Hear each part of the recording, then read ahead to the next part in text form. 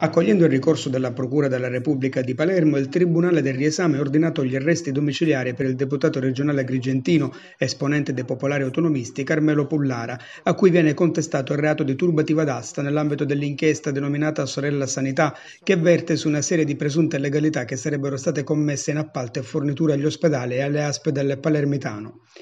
Per la Procura si sarebbero poste in essere corruttele e situazioni di turbativa delle aste. Gli appalti finiti sotto la lente di ingrandimento dei magistrati ammontano a circa 600 milioni di euro. L'operazione giudiziaria che risale allo scorso maggio vide finire agli arresti 10 persone. La Guardia di Finanza aveva accertato un presunto giro di mazzette che ruotava intorno alle gare indette dalla centrale unica di committenza della regione siciliana.